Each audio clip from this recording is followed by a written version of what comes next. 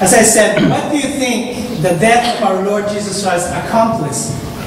What do you think the words "it is finished" accomplished? Uh, I have three items here. I think there are some more probably, but I think these are the most important one. Number one, it accomplished forgiveness.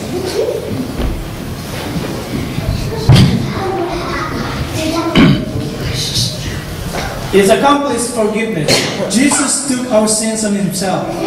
He took responsibility for our guilt. He died in our place so that we could be free. So that our sins would not be counted against us.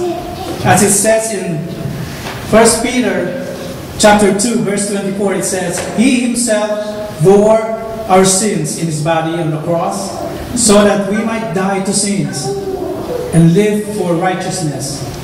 For by his wounds you were healed. Not only that, this was a gracious act of God who put Jesus forward as our substitute.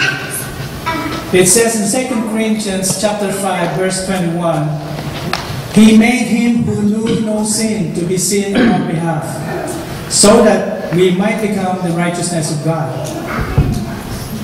The result is that our sins are not counted against us.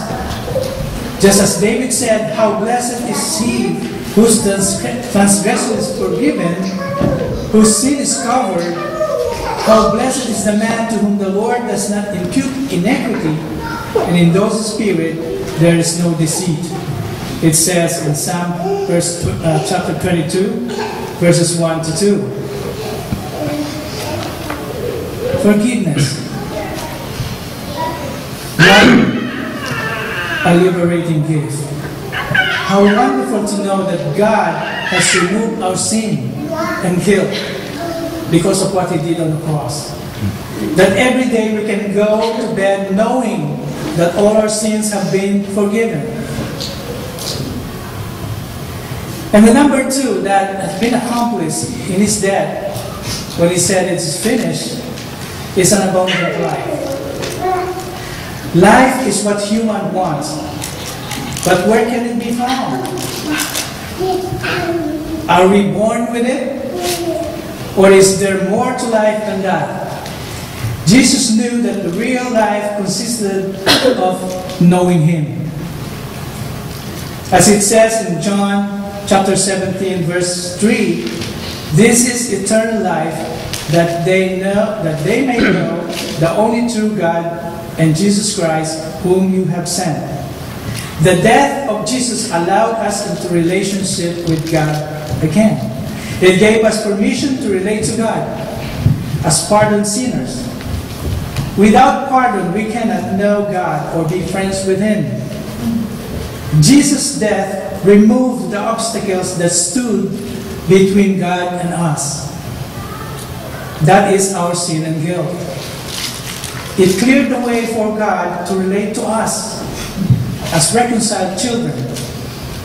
Now we can experience the abundant, flourishing, powerful, exhilarating life that God pours into us every day.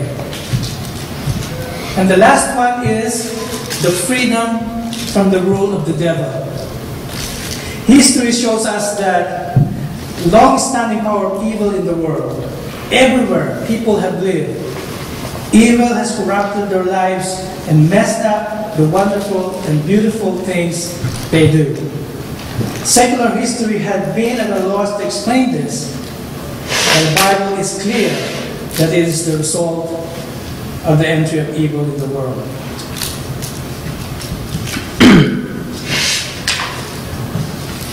Satan tries to deceive us and lure us away from what is right. And then He loves us to offer us futile, futile ways of getting right with God. Religious, secular, as long as it does not work, is the goal of the devil.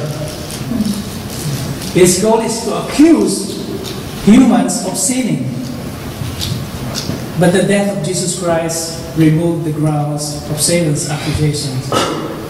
He has nothing now to point at us because of his death on the cross. Everything is finished. His power is broken. Now we can live under a godly ruler who helped us live in the company of, our God. Jesus' rule offers hope to the world. Rescue from evil is certain. His rule offers hope for us to live God's way. So those are the three main important things that accomplish that was that were accomplished because of the death of our Lord Jesus Christ, because of the word it is finished, because it is complete.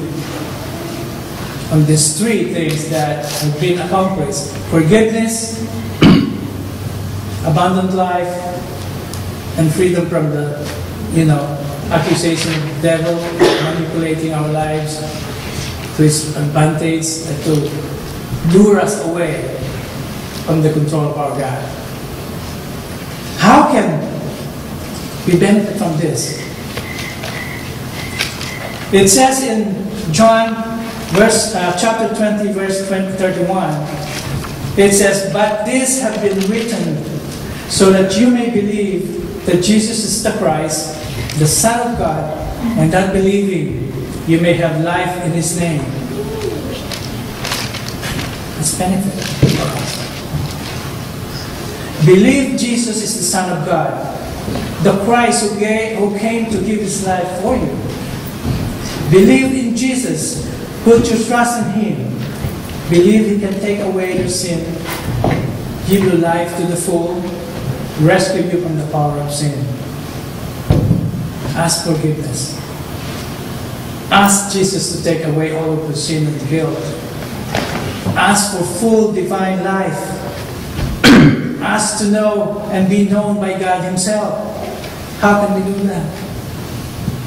Is that, au- that automatic in our life? I don't think so. We have, as, as he said in, in, in, in the Gospels that, or in, uh, I think in Peter, he set an example. He said, Be holy, for I am holy.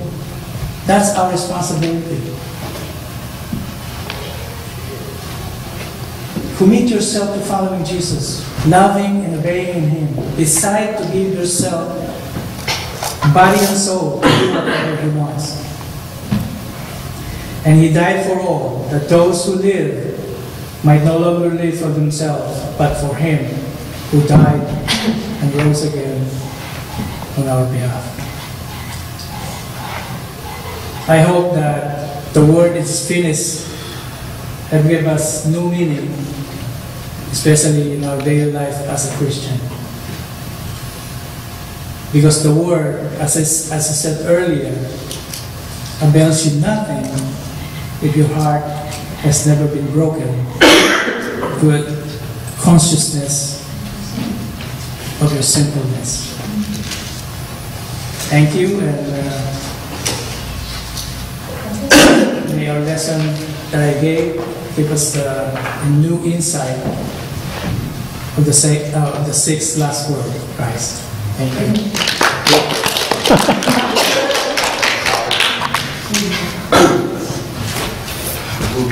Thank you, Brother Frank. Hindi mo papapigil dyan. Haba naman.